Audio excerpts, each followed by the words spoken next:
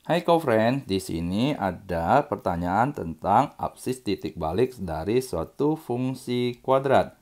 Maka jika kita memiliki fungsi kuadrat y sama dengan ax kuadrat ditambah bx tambah c, maka absis titik baliknya x-nya adalah min b per 2a.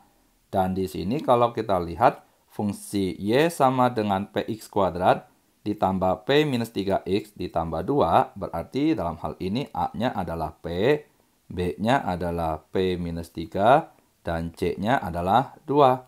Sehingga dibilang bahwa absis titik baliknya adalah P, berarti X-nya di sini adalah P, ini sama dengan minus B-nya adalah P minus 3 per 2 kali A-nya adalah P.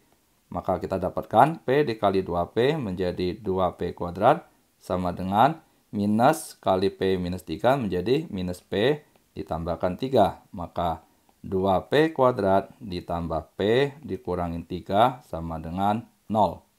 Maka bentuk ini akan kita faktorkan 2P kuadrat tambah P minus 3. Ini menjadi 2P dikalikan dengan P.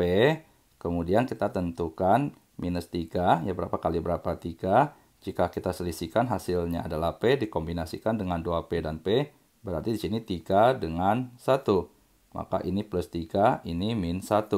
Kalau kita kalikan 3P dengan 2P berarti plus P, berarti sudah sesuai. Sehingga pembuat 0 di sini berarti 2P plus 3 sama dengan 0 atau P min 1 sama dengan 0. Jadi kita dapatkan di sini berarti P-nya sama dengan minus 3 per 2 atau P-nya ini sama dengan 1. Dari pilihan yang sesuai di sini adalah yang B. Jadi nilai P adalah yang B pilihan kita. Demikian pembahasan kita. Sampai jumpa di pertanyaan berikutnya.